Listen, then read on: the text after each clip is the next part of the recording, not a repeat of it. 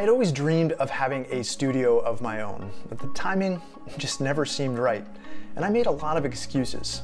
Rational at the time, but as I look back, really, they were based in fear of the unknown, of not being able to provide for my family, fear of failure. In 2012, the employer I was working for at the time cut all of the employees' pay by 20%.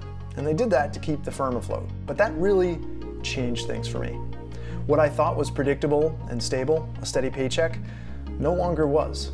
And so in 2013, about two months before my 40th birthday, I set off on my own with no savings, no backlog of projects, no studio, just a drafting table in the corner of my living room, a computer, and an internet connection. In the seven years since, I've built a profitable business. In the first year on my own, I doubled my income from my previous job. Until a few years ago, I had no idea what a profit and loss statement was. I'm not the product of a wealthy family. I'll never win the Pritzker Prize. In fact, there's a good chance you don't know me, and you certainly haven't toured anything I've designed. I'm a nobody, and I hope you'll find that reassuring, because if I can do this, anyone can. Hey, welcome to my studio. This is 30 by 40 Design Workshop. I'm Eric. That's my home behind me. That's where I started it all back in 2013. In 2016, I built this building. It sits on an island off the coast of Maine. Maine is located in the northeastern part of the United States. We're about an 11 hour drive north of New York City, depending on traffic. So pretty much in the middle of nowhere. I built the studio that we're standing in as proof of concept that I could design the kind of creative life that I had always imagined for myself. It hasn't been, however, without mistakes. And those are mistakes that I'd never trade away because they've definitely shaped the business that I have today. But they're mistakes that you don't have to make. So I thought if you're contemplating going off on your own, that it would be an interesting thought experiment to sort of rewind to day one and start over. If I had to do it all over again, this is what I would do. My immediate worries on day one, right or wrong, they were pretty much all financial. And I'm sure this has something to do with how I was raised. This is me at age three. I grew up in a small town north of New York City. Both of my parents, they worked very, very hard. My mom didn't have the chance to go to college. My dad was an educator. He was actually the first in his family to go to college. We lived on their very modest earnings. So growing up, I always remember them holding two jobs just to make ends meet. We didn't own a home. Our school lunches were subsidized. And while my parents didn't have much, what they did have, they gave it all away to my sister and I. In fact, they gave to everyone that I knew. And in doing so, they taught me how to squeeze everything I could out of all I had. Frugal probably a good description. But they were also pretty risk averse. And as you might expect, these attitudes shaped not only who I am, but also the business that I created. Now, before setting out on my own, I had heard all the same advice that you probably have, right? You have to build up a war chest of money, right, to survive all the lean times. And I have to admit, that just the thought of saving 6 to 12 to 18 months of living expenses, that was just completely overwhelming to me. And I actually used it as an excuse for not starting my business for a really long time. Now, when I did start out, I did it with nothing in the bank. Now, everyone's situation is unique. I was fortunate at the time to have a working spouse. But if you're the sole earner or you're on your own, saving a runway may actually be the only way you can do this. For me, having no working capital was a really strong motivator. If I had had 12 months of expenses saved up, I certainly would have felt less pressure to take every last project that came along. For sure, that would have been less stressful, but without the urgency to earn each month, I wonder if I would have been successful. Not having cash in the bank forced me to hustle, and it forced me to say yes to a lot of projects that I probably wouldn't have otherwise agreed to because I was so hungry. See, when you're first starting out, everything that comes your way is kind of like a lotto ticket. You don't know which ones are going to be the winners. So, in that sense, it's good to say yes to things, right? You want to do a lot of scratching because they're going to lead to other opportunities. And those are things that you just can't predict. It's definitely not a winning long term strategy, and we'll talk about that in a moment here. But on day one, saying yes will expose you to more opportunities. As soon as I had my first real paying client, though, I started to save a runway, and I still have one to this day. I just could never go back to working for someone else, and a runway is assurance that I won't have to. Now, the benefit of keeping cash reserves is that once you start getting clients and you start getting a regular stream of work, you'll want the freedom to turn down those projects that aren't an ideal fit for you. The other financial imperative on day one is to have a working budget. And remember, there's two sides to a budget there's income and there's expenses. It's not all about how much you earn or how much you need to earn, but equally about how much it costs you to live, right? What are your expenses? Lifestyle creep, totally natural. When you have a regular paycheck, it's actually really easy to mortgage away your future because every two weeks you get this new cash infusion and it feels like you're keeping afloat. When you're working for yourself, your cash flows, they aren't guaranteed. They're just not as consistent. So you have to recognize that Every dollar you trim from your budget is one less that you'll have to earn to keep it all balanced. Now, to ease the financial worries on day one, we also obviously need some work. And when you need work on a short time horizon, your best resource is usually going to be referrals. You'll need to design a system for marketing to bring new clients into the business consistently but that all takes time to build. Early on, my first jobs, they all came as a result of referrals from my personal network of contacts. So I want you to reach out to everyone you know and just let them know what you're doing, right? Professional contacts, friends, family, even other architects. So think about where a prospective client will head first when they're contemplating a new project. Now, for me, because I do residential work, that was primarily two places local realtors and local contractors. Now you want to mine these resources in those places first. Now I mentioned other architects, and this really does work, particularly if you know some larger firms in your area, because they're not usually going to want to take on the kind of smaller projects that might actually be a perfect fit for you as you're just getting started. Now before you reach out, you're going to need somewhere to send them to. Long before you need a physical studio like this, you'll need a virtual one. And your website will be the hub for your marketing efforts moving forward and it must answer all the basic questions every client is going to have before they reach out and contact you. So your portfolio is going to show you're experienced in the kind of project your potential client is considering.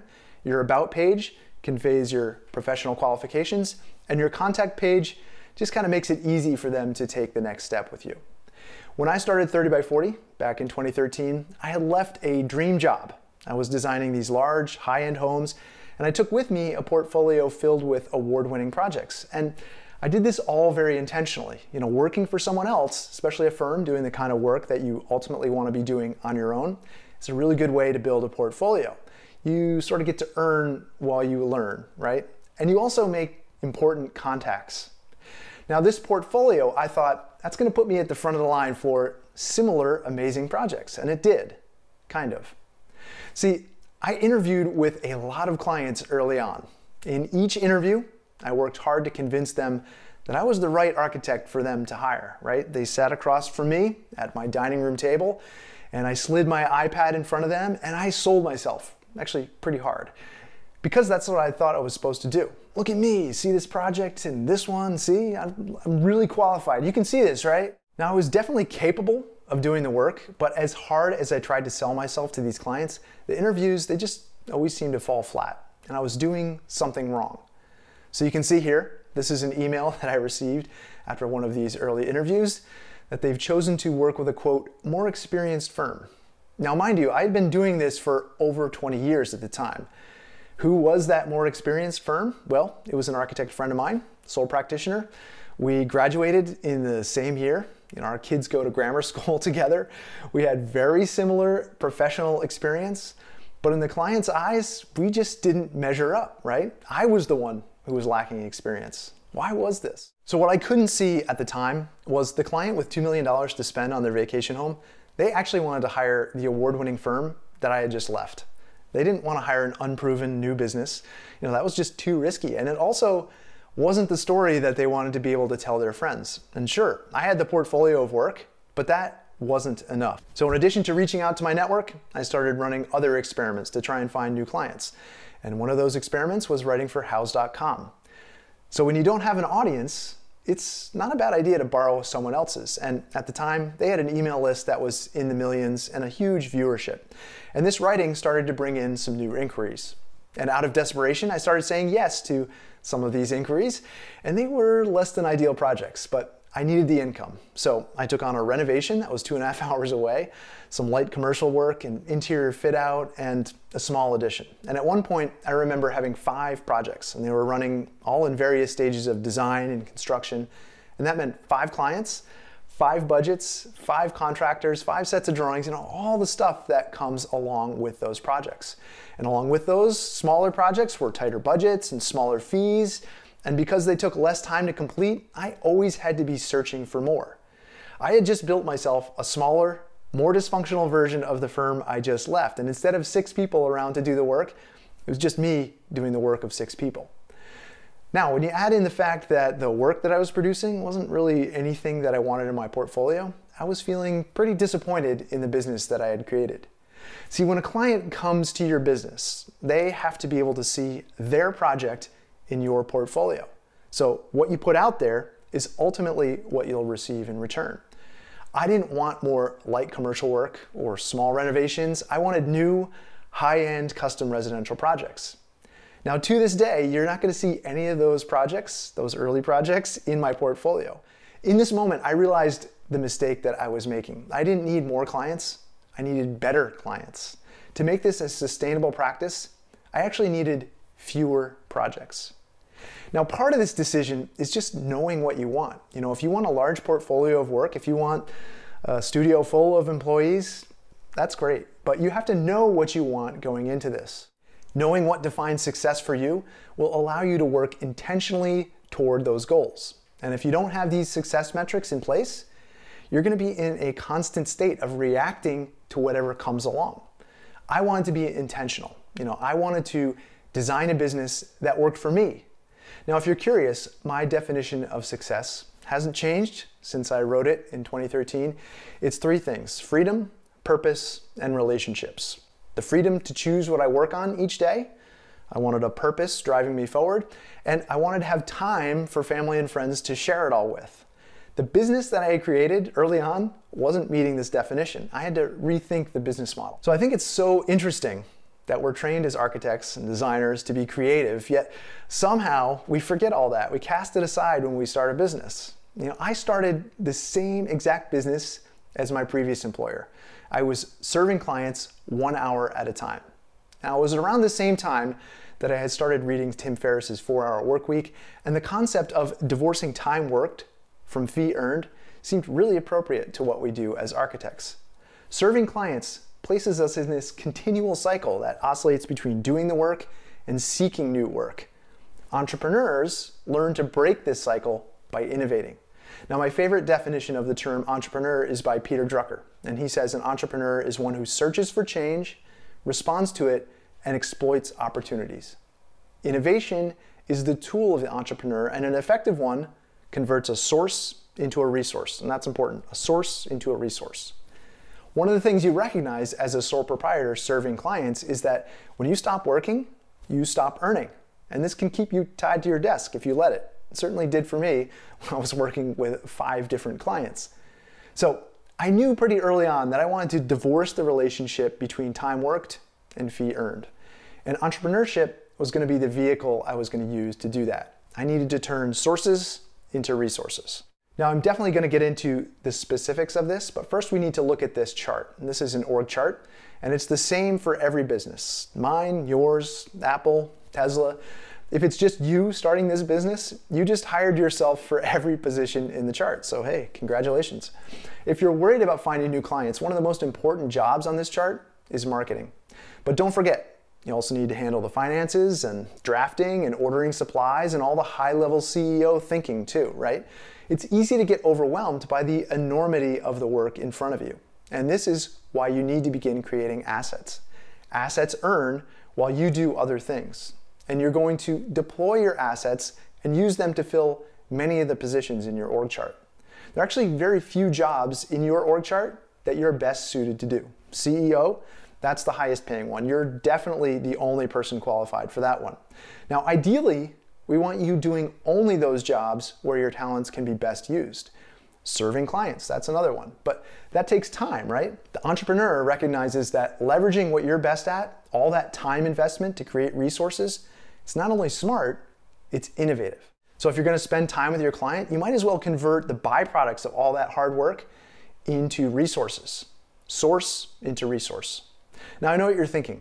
Sounds great conceptually, right? But how exactly does this work? I've done this many different ways, but this is the most recent and I'd say probably the most refined process that I've created. It repurposes the byproducts of the design process, all the things that I'm already doing while I'm working with clients, and it turns them into resources.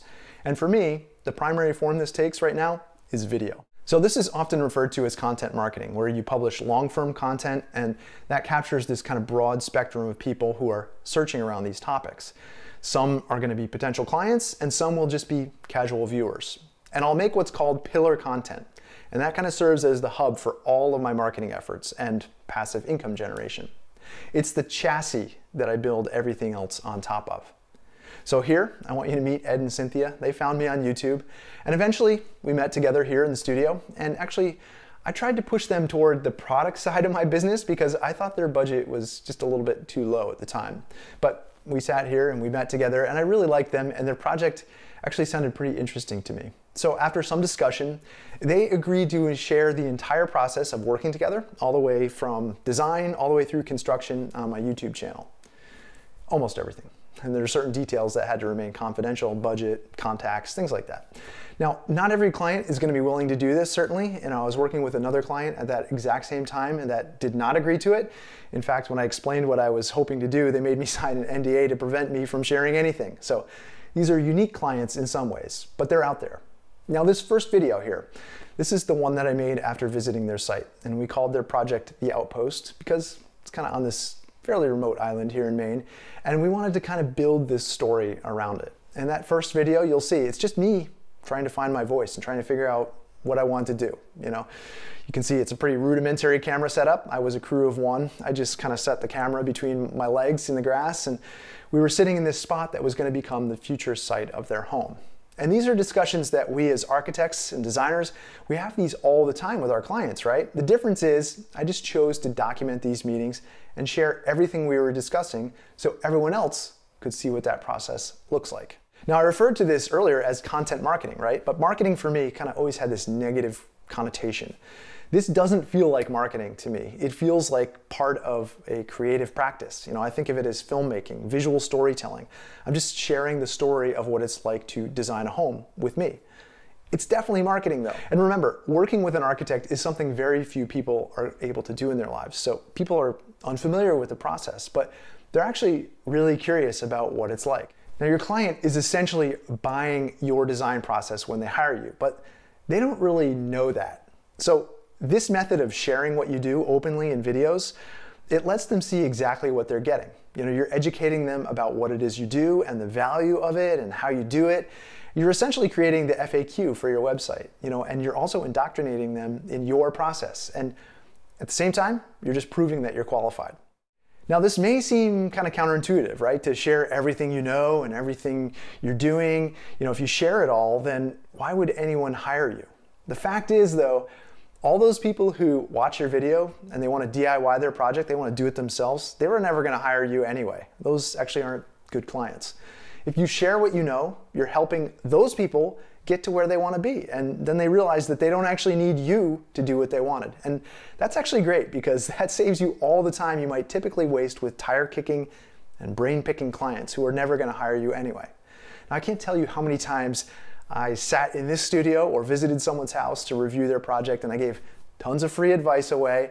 And they only turned out to be tire kicking you know clients. They were just searching for ideas. It was a total waste of time. Now as you're sharing this you'll also come to learn that there are also those people who see what you're doing and all the knowledge that you're sharing and they actually value it. And they're the ones who start to recognize that they can't actually do it themselves that there's just too much at stake financially. And they see that you're actually the best person to help them get what they need and these are actually not coincidentally much better clients. You're naturally selecting for those clients who like what you do and how you do it. And by the time they contact you, they don't need to be convinced you're the right person to help them. Their mind is already made up. So when Ed and Cynthia, this couple came to my studio, there were no questions about fees. You know, I didn't have to slide my iPad across the table to sell them. This wasn't an interview. It was a conversation. In fact, I remember coming away from it thinking, wow, this is way too easy. I mean, these people just hired me without vetting me, which isn't really true. I mean, they got to know me from watching all my video content, they were reading my blog posts and scanning my Instagram and Pinterest feeds. By the time they made the appointment to meet me here in the studio, they actually already hired me. I just didn't know it yet. Now, why was this so different than those early interviews that we talked about?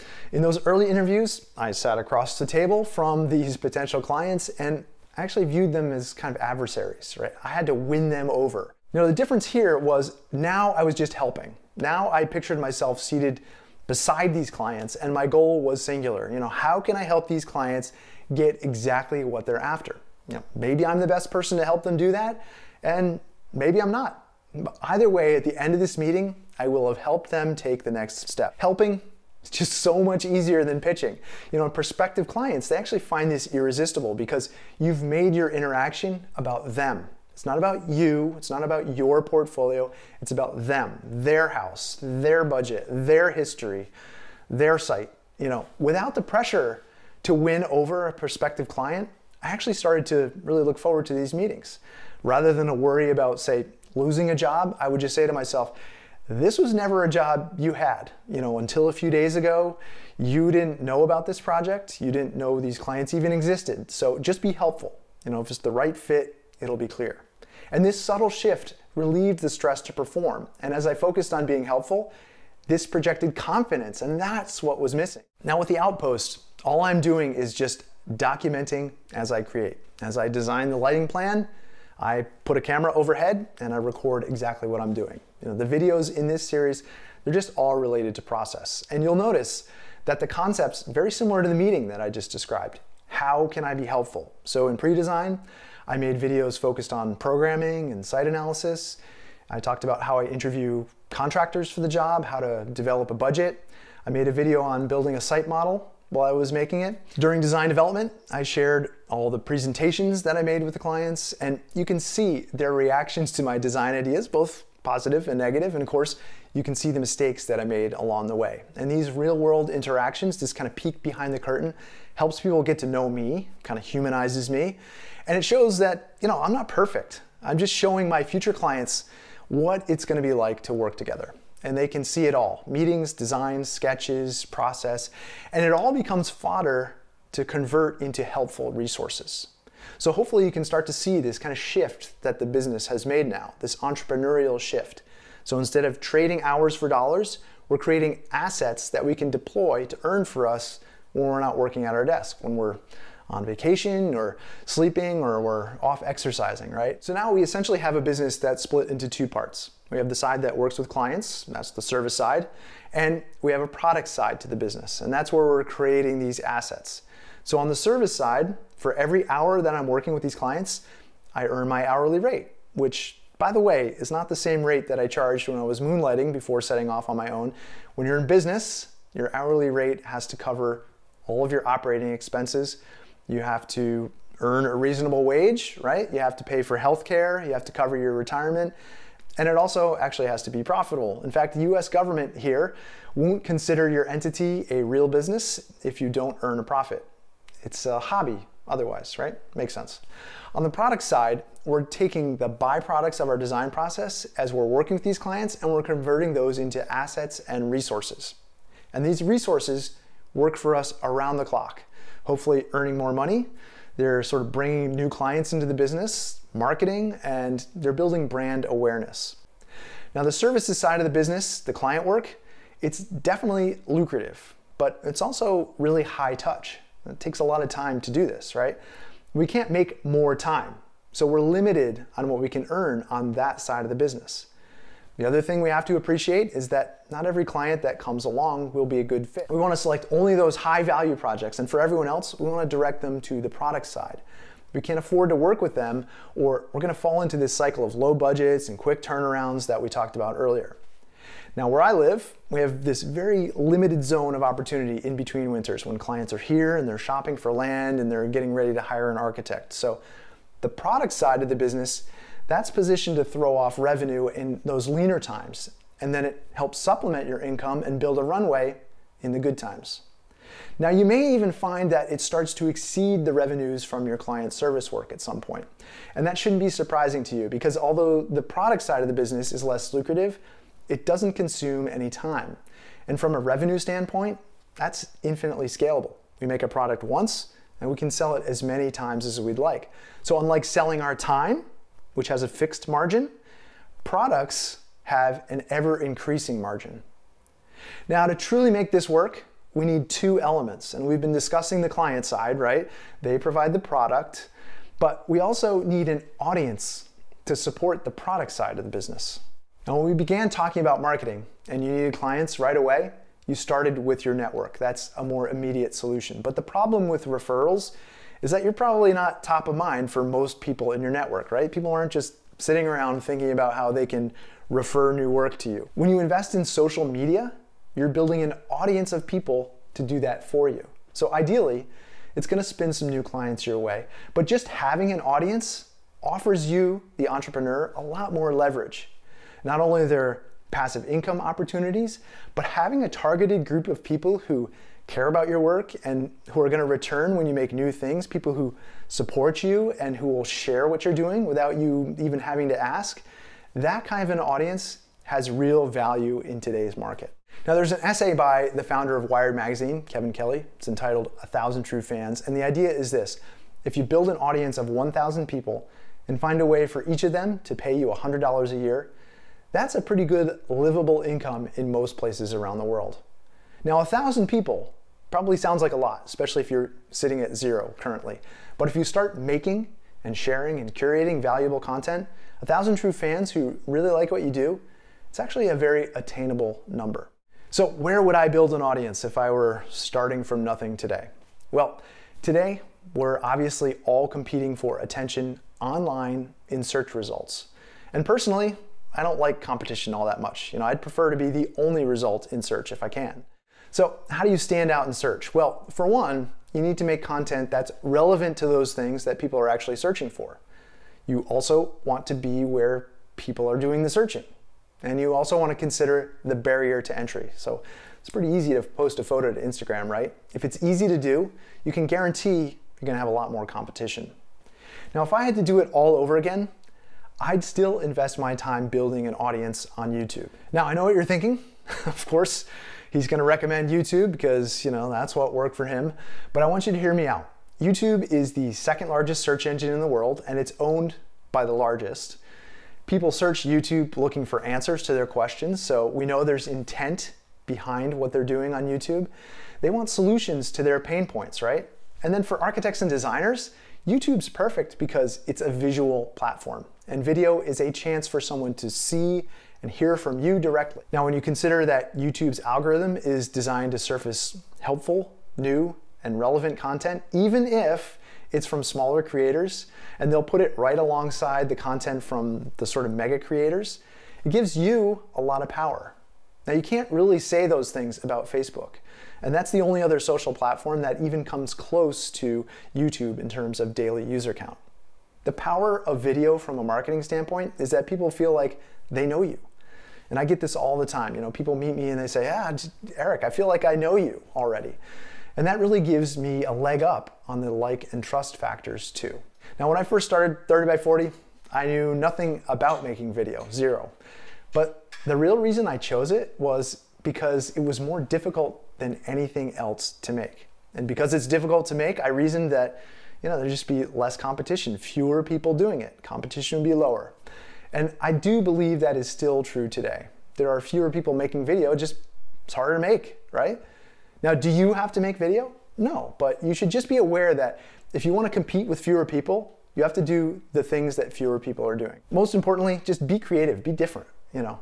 Now the other thing you should take into account is what you enjoy making. I love making videos. You know, some people like writing, some people like audio, recording a podcast. When you do what you love, all of this becomes easier because you'll be able to sustain the effort that it's going to take. So, which platform is going to work best for you? Well, it really depends. And I want you to experiment. I want you to try different ones, see what works, see what you like, see what doesn't work. I'm always looking for new ways to fail because failure is just the fastest way to learn. Now, once I've made this pillar piece of content, right, this video, I start converting it into other resources. And I mentioned how my parents taught me to get everything I could out of all that I have. And this is the perfect example of just wringing out all the value of one piece of content. So here's what I do with it. So number one, there's advertising revenue. And as long as people are watching this video on YouTube, it continues to increase over time. There's affiliate revenue from products and services that kind of complement the video. I will often create free downloadable resources that complement whatever topic I'm talking about, and then I use those to build an email list. You know, once you have an email list, then you can notify them each time you make something new. And by the way, that's the surest path to reach your 1,000 true fans. We're not gonna get into the details of building an email list, but it is part of the strategy here. So I write a blog post on my site, and that provides some additional context. It also links out to all the contents of my kit you know, all the gear that I use. So I sell digital templates, drawings, audio content, digital books. I also have physical products that I can sell, books, prints, plan sets, you know, maybe merch. The video content can also be repurposed into other paid content like a course. You know, just because you're publishing free content on YouTube doesn't mean you can't reserve some of the best stuff and put that into a paid course. And in fact, I'm doing that with the Outpost series right now. There are things that I'm not sharing publicly because they're going into the course. So you can imagine creating, say, a 14 part series. And you know, at the end of part 10, you say, hey, you want to see how this all turns out? Uh, you can purchase the last four episodes right over here, that kind of thing, right? Uh, I also edit some of the B-roll footage that you see in my videos. I edit those down into these short clips, and then I upload those to a stock footage site, which sends me commissions at the end of each month. And then there's you know, something that's more difficult to measure, but no less valuable is that the videos help me build my social following and they improve my social reach. So shorter versions of the video, I upload those to Pinterest. I upload the full length one to IGTV and then, you know, Instagram, I do a story or a post. And then I've even been experimenting with TikTok. You know, social following has real value with brands these days and it can be monetized through brand partners looking for access to an audience. So you can check socialbluebook.com and you can actually see what your social following is worth right now. So making and posting videos takes a lot of time. This is a long marketing play and you can't expect immediate results. You can't give up after 20 posts. In fact, your first 50 posts are probably gonna be terrible, right? So you can go look at mine if you need some proof. With practice, the quality is gonna improve and you're gonna wanna do more and you'll start earning more and that will make you want to do even more. You know, you're kind of turning this giant flywheel and it's difficult to overcome the inertia in the beginning, but once it's in motion, this momentum is going to start feeding cash into the business each month. And it's going to allow you to build a longer and longer financial runway, which in turn buys you more freedom to make the choices about what you want to make next. Now you're probably also thinking, well, how am I supposed to do all this, make all this content, do all the work at the same time? You know, that's precisely why you need fewer projects if you take fewer projects, you'll want them to have bigger budgets, right? Instead of five projects with five tiny budgets, why not hold out for that one project with five times the budget? You know, as I had this realization that I needed fewer projects, I stopped saying yes to those renovations that were two and a half hours away. I stopped doing commercial work, and I made an intentional choice to move away from a client that I had this long term relationship with because I just didn't want more of that work. And it was a difficult choice at the time because it was a lot of revenue that I left on the table. But it just wasn't creating more freedom or purpose in my life. And it certainly wasn't allowing me to spend more time with my friends and family. I'm gonna give you one last example before I close because we've been discussing how entrepreneurs look for change and act on opportunity. And this is a time of change and opportunity right now. So here's an example to kind of take it even further. Like it or not, we've all had to make this massive shift to working from our home these days. And if you've been on YouTube at all, you've probably noticed there's been this proliferation of content around people's work from home setups, right? Changing work environments, it's like perfect opportunity for architects and designers to weigh in. So I took a critical look around the studio workspace here and I recognized that, you know, we kind of needed to adapt to our new normal. My wife is running her research lab from our home. My children, they're learning remotely. Uh, I have a summer intern here, and you know, I just I need to accommodate fewer meetings. So I thought to myself, how does this space need to change and adapt to this new reality? How can I be helpful? So I made some subtle shifts. I rearranged things, added some storage. I kind of did restyling on the interior. And as I did that, I filmed it all, you know, from the planning through the execution. And then I curated detailed resources for anyone who was hoping to do the same. Now, I didn't do it because I wanted an influx of new office renovation work, certainly not. I just did it to be helpful. So here's some of the sources that I turned into resources. First, there's the video itself, right? In the first few weeks, it's been viewed close to 300,000 times. And I'll continue to earn advertising revenue from this video probably for a number of years. So then I also created a blog post and that has very specific details and links to all the products I use. I link that out on kit.co. Now I expect these commissions, they too will continue for years as well. And at the holidays, they're gonna be particularly large. So then a brand reached out and they said, hey, we'll give you a standing desk for free, just, you know, if you give us a mention in the video. So we have that. There's other brands that have since reached out, having seen that, and I'm starting to negotiate partnerships with them for future video projects. I've uploaded shorter form versions of the video to Instagram, to IGTV, and Pinterest, and I'm starting to diversify my audience there. I take the B-roll clips, those are earning commissions from Blackbox. The interactive video cards, they link out to other video content I've made, which helps correlate my content with other popular videos in the space. And it also increases my watch time and authority there. I think I gained something like 35,000 followers from that video in the first week. I got another 1,000 followers on Instagram. There's a link in the video to sign up for my email list and they get access to these resources which are kind of dripped out over time. Hopefully you get the point. You know, nothing goes to waste here and all of it is designed to meet my audience where they're at.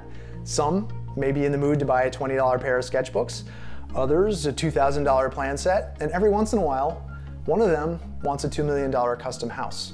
And I'm there for all of them. Now I hope this presentation has given you the confidence to know you can do this too.